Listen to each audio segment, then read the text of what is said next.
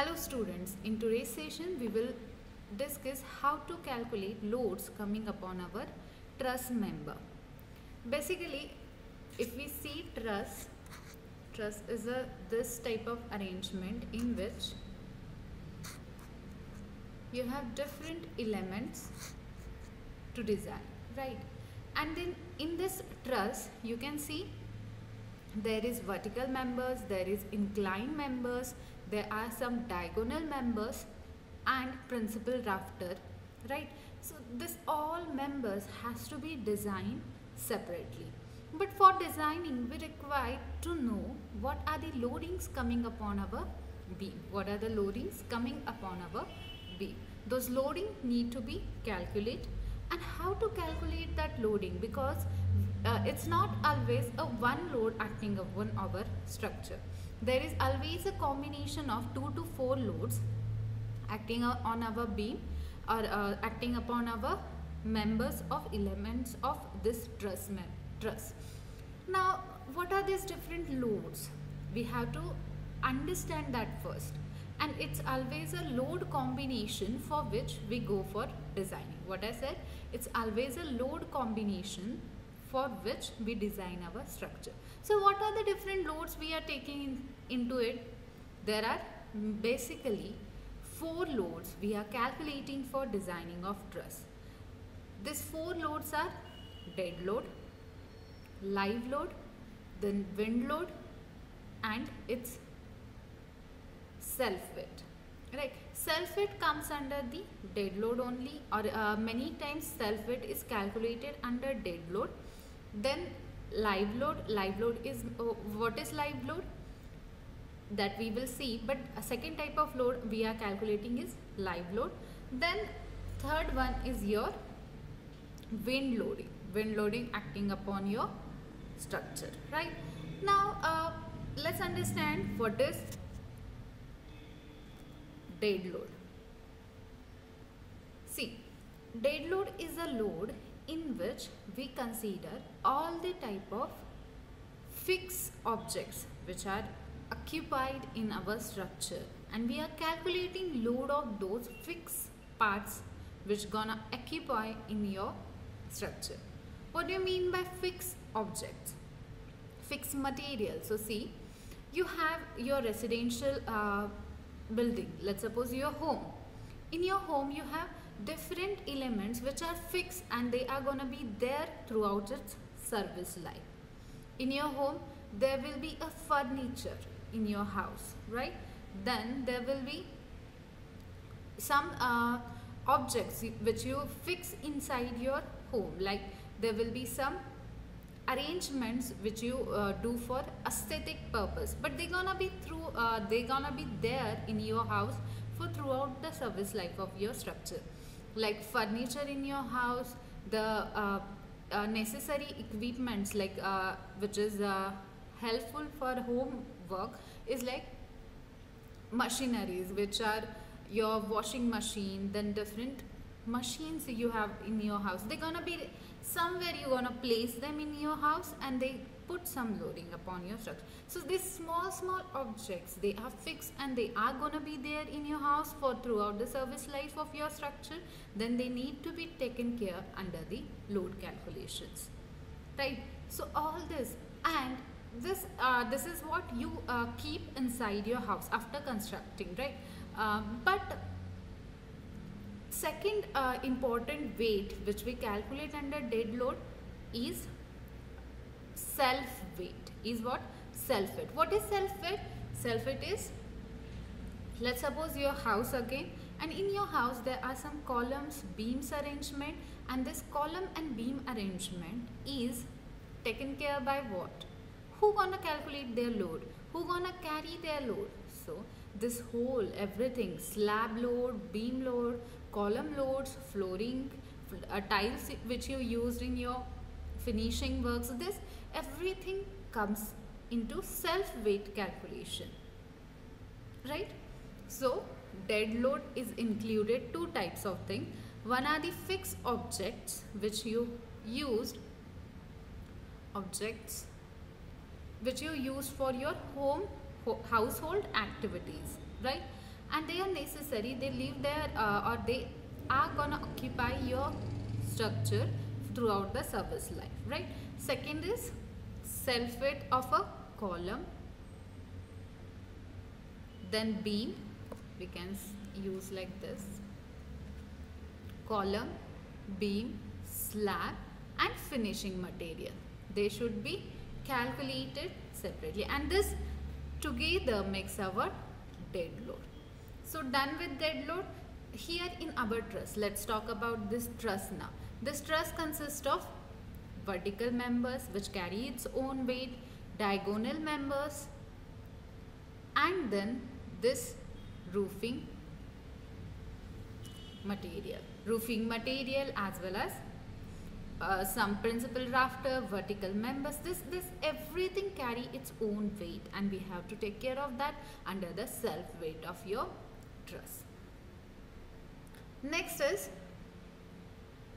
now we are done with the dead load now let's talk about live load. Again i'm drawing figure for truss. This is your truss. And in this truss now i'm talking about the live load. What is live load? How, why we need to take care of it? See any uh, structure any structure which are constructed which is constructed for people to live in or humans to live in are comes with this live load category all the residential buildings even the commercial buildings has to be calculated or has to be served the live load. It is need to be designed for live load also. Now what is live load? See here. Take an example of your house now again. In your house there are four or five people who gonna live in it. They has their own weight. This all human beings has their own weight in between range of 1 to 100 or 1 to 20 everyone carries some weight in a kg right but who gonna take care of that weight so the second category of load calculation called as a live load which is the basically moving load on your surface of or on the member of your structure is said to be live load. Is said as a live load. It is calculated as a live load. Now uh, there can be a moving objects. You can say uh, there are chairs in your house which you uh, move from one place to another place but still they are calculated their weight is negligible and they are calculated under the furniture object which is the uh, dead load. Okay. Uh, but the human beings which is continuously moving in your house they are living persons and that need to be comes under live load calculations okay now let's talk about the truss. In the truss, this is our truss. In this truss, uh, you have sloping roof at its top, right? In this industrial shade where you used a truss for your designing, this truss has a sloping roof at top.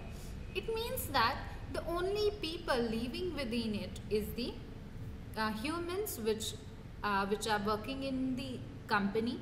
And uh, that company is made out of this uh, truss kind of a shape and that human beings apply its a load on the surface on the ground right that that we cannot calculate as a live load then where, where you should place your uh, or where from you calculate your live load on the let's suppose we take an example of residential building of two floor okay this is the uh, residential building of two floor.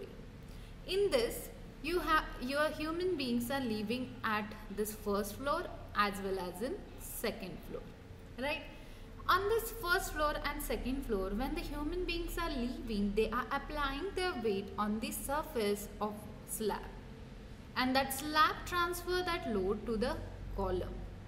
That column transfer the load to the footing. That's why in the uh, frame structures in the RCC frame structure you need to take care of this live load coming upon the slab and that transfer to the columns and when it to the slab to the actually it transferred to the beam from beam to column and from column to footing. But this takes place with what? Frame structures. But in our case in our truss uh, in the truss you have sloping roof. There is no one who are living on on or above our structure right? And only the live load which we consider on our truss is the people who go on the uh, trusses to repair it or sometimes for the maintenance purpose. What i said in this truss there is no human uh, human beings who live on it and that's why we have to understand that still there is no human beings live upon it. We have to send some people uh, to take care of maintenance as well as some joints has to be maintained and take care regularly. Then uh, third is repairing work uh, which is go with the service life of our structure there can be a, a climate change and accordingly our structure shows some uh, or a structure gives some requirement regarding uh, repairing and maintenance. For that, human has to go there and check check that thing. That's what the live load we are thinking or we are talking in the uh, truss members, right? Fourth is or a third is wind load. Now, what is wind load? See here, this is your truss again, and in this truss in this truss. If you uh, said there is a wind load, it is has to be taken on the roof surface. It is why we are calculating wind load. Now see, our structure is constructed in some open terrain. Uh, see here in the problem I have said my truss is located in Hyderabad and what kind of a terrain it is? It is an open terrain. What happens in an open terrain? The wind forces affects on the structure. That wind forces can deflect, can deform our structures. And to understand how much velocity of a wind creating what changes in my members that taken care by wind load calculations. Now this wind load calculation has its major steps and it, each step carries its importance. So I am simply giving you the idea that wind load is acting. There is a wind constantly flowing inside, uh, in our uh, atmosphere and that winds carry importance in design. Why? Because this wind has a power to change or to deflect or to show deformation in, um, in our structure. And we need to take care of that. We have to take care of that wind forces into our calculation. We will understand that step by step in the wind calculation and that is the next part of our video. Okay, right now we will understand now how to calculate dead load on my truss. Okay, let's see. How to calculate weight of purlin is the first thing. Weight of purlin means what? Weight of purlin, see here, what is purlin first of all? This is your truss and this truss making an industrial shed like this need to be constructed like this. Now this is what your first truss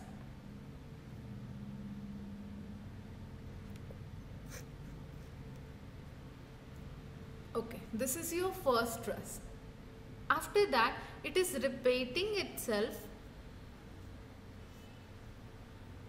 It is repeating itself at certain distance right? Why it is repeating itself? Because we are forming industrial shade out of it right?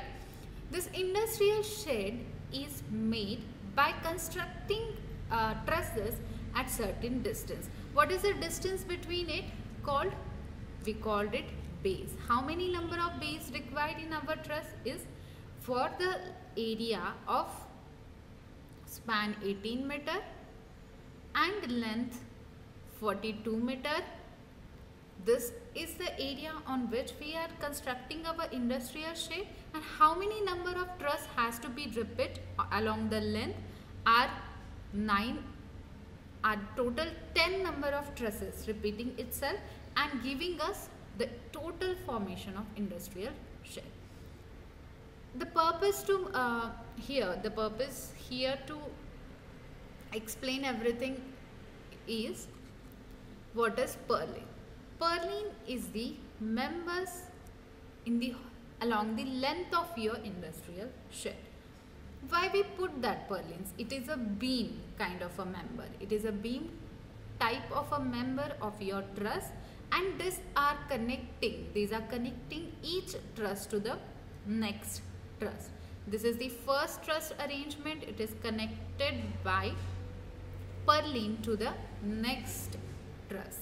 Now this purlin has its second major purpose is that to carry the roofing material above it to carry the roofing material above let's suppose we have we are using GI sheets and in this GI sheets you uh, apply GI sheets in this direction right now you applying GI sheets above it to rest this GI sheet we need a beam below it that is called as a purlin so I hope you understood what is purlin is. I have shown it with the figure. Now this purlin has its weight and that is taken as a 120 Newton per meter square. Now question is from where I have taken that 120 Newton per meter square and what this Newton per meter square? Because we are talking about the weight and weight has a unit in SI system as a 120 Newton right? Why uh, why per meter square? That representing the stress form, uh, formula right? See here. Now I am taking weight. This weight is 120 Newton per meter means 120 Newton is the weight for 1 meter by 1 meter area of purlin what I said if I made 1 meter by 1 meter area of my purlin that will weigh how much? 120 newton. How much it will weigh? It will weigh 120 newton. Right? Understand? The next is where from I have taken that 120 newton per meter for your load calculations please make a note for your load calculation you have different IS codes for live load there is one IS code then second is your wind load and live load. For everything live load wind load and your third one is uh, dead load. For this three of the different categories of your load load you have different IS codes. And that IS code mention the dead load of every material you use in your structure. Let's suppose i am using in the problem i have mentioned i am taking the GI sheet as a roofing material right? So D, what is the weight of GI sheet for 1 meter square area?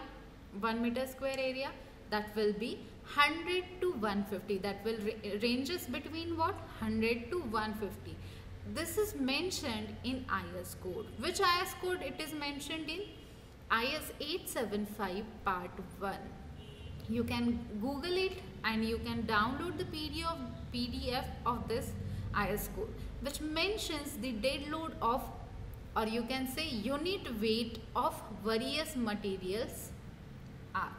They, are, they have enlisted and mentioned in the IS 875 part 1. Okay. Now this I have mentioned the definition of dead load here.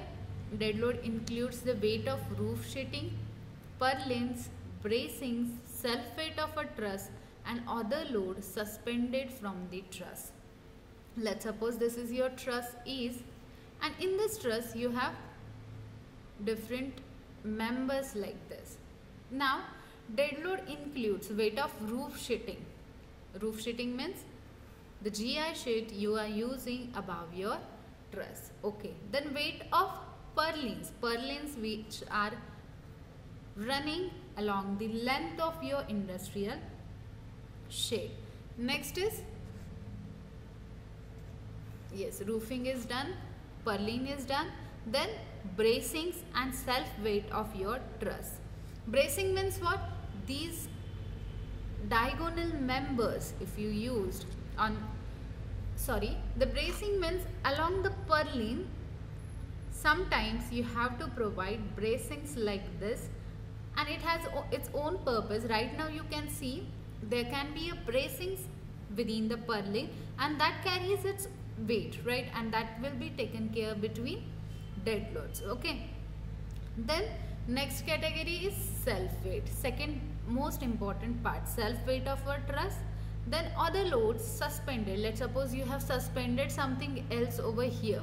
And that suspended thing carries its weight and that weight is transferred to the truss that's why you have to take care of all the suspended members on your truss and they, they will comes under which category? Dead load. After that I have mentioned the uh, unit weight of this GI sheet, AC sheet, then weight of purlin is ranges between 100 to 120 Newton per meter square and that's why I have assumed my purlin weight is equals to 120 Newton per meter square. Right, next is self weight of a truss. Now, how to calculate self weight of a truss? Self weight of a truss for a span what is span? This is your truss and truss has its span from this to this. This is called span of your truss. This span is can be 18 meter can be 9 meter can be 10 meter. It has different values right? According to the designing it has different spans. Uh, we have different spans of a trusses. Now in the self weight if you want to calculate self weight of a particular truss how you will calculate that? On the basis of length. Or you can say on the basis of span.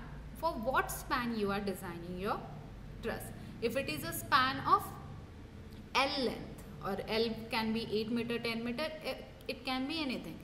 For that L span what how you will calculate weight? Weight will be 10 into L by 3 plus 5 Newton per meter square. Please make a note of this formula because you're gonna use it plenty of times in the coming sessions because uh, you have to uh, design your own truss once i finish my uh, designing you have i will give you one problem. As a part of submission you have to design your truss also. Okay? So make a note of this formula. Next is weight of roofing material. What is roofing material? I am using GI sheet and GI sheet is ranges between 100 to 150 now roofing material is different. Roofing sheet is different. Sorry for that. Roofing material stands for the 85 newton per meter square. 85 newton per meter square.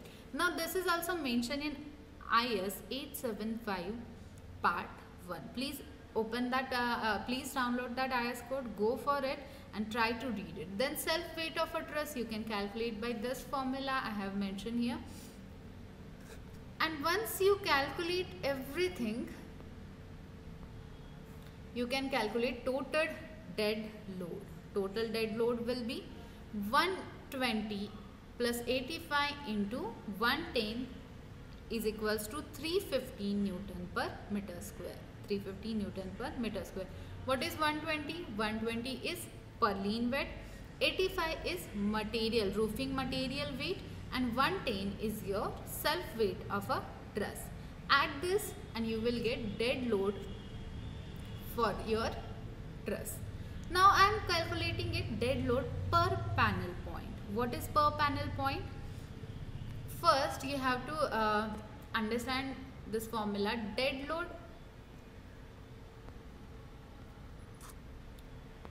yes this dead load into length the dead load coming upon my truss into the length of truss not a span of truss. What is the length of truss? And then spacing of a truss. At what spacing the truss is repeating itself? At what spacing the truss is repeating itself? Okay. And divide by number of panels. And divide by number of panels. See here. If we use that formula everything is with us. Dead load which we uh, calculated 31.5 this is in newton. I'm using it in kilonewton 31.5 into length length of my uh, span of my truss is 18 meter. Spacing of my truss. Earlier we have calculated spacing which is 4.5 meter divided by number of panels. What is number of panels? See here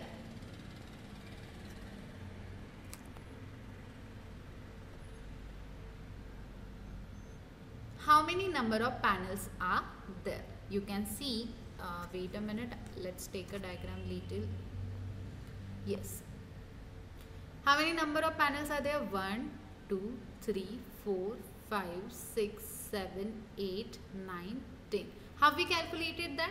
According to spacing we have calculated number of bays. And that number of bays bays is a along the length you called there is a one bay but this total area is called it as a panel. This total area this rectangular area which is called as a number 1 that is called as a panel. That is called as a panel. And how many such panels are there in your truss you have total 10 panels right? And that panel which I am talking over here that is the number of panels I am talking over here then dead load is 3, uh, 315 which is I have taken in kilonewton 31.5 length is 18 and spacing of a truss is 4.5 meter. Spacing means what? At what distance your space uh, at what distance your truss is repeating itself. That is 4.5 okay?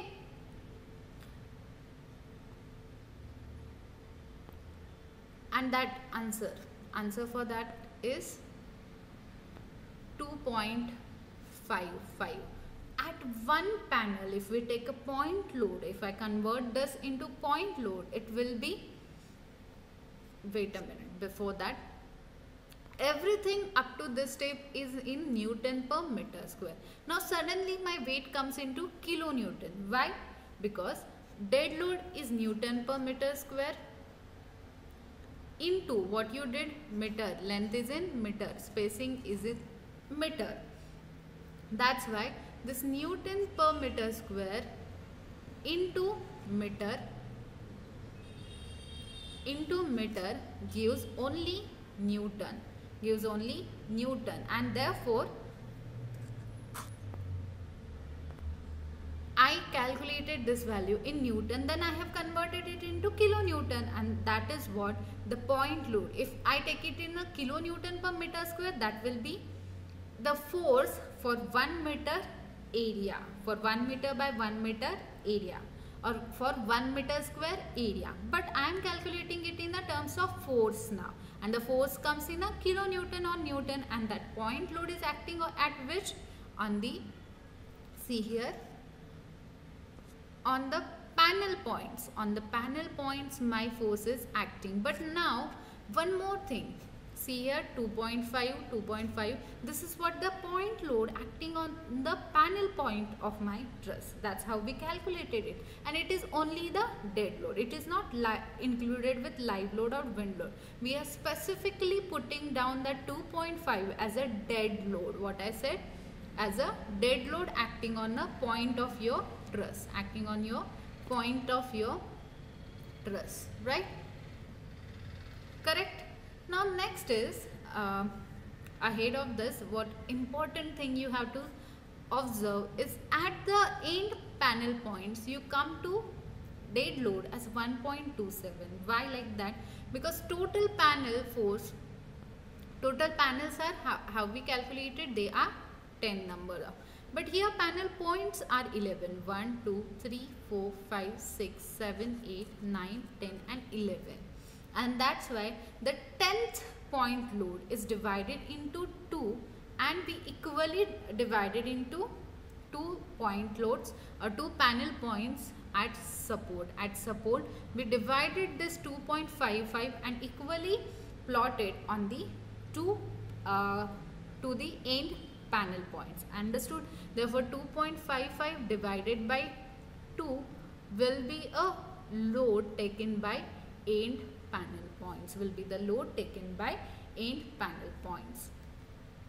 Now what is this 1.22 1.9 uh, here you can see it is 1.99 but here I am writing it 2.10 why it is so see 1.99 is the horizontal distance of your panel point of this distance horizontal distance between two panel points which we have already calculated. See here? Yes length of panel. Length of panel is 1.99 meter. It is the horizontal distance between two panels right and that will be equal for each panel and that's why it gives value 1.99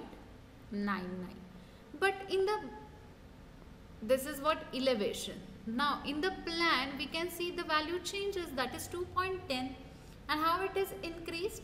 It is the sloping length. What I am saying this is the distance of a sloping length between each panel between each panel. And of course you know uh, according to Pythagoras theorem always the sloping length is higher than the horizontal length. And that's why this raised to 2.10 we have calculated this. Earlier we also calculated this. Now uh, the last calculation over here is dead load on end panel which is 2.55 divided by 2 and that is equally divided onto uh, two end panel points right? This is go on the end panel points like this. Okay so here our session ends. Read this again and we will end our uh, read this again write it down in your notebook and we will continue for live load. Thank you so much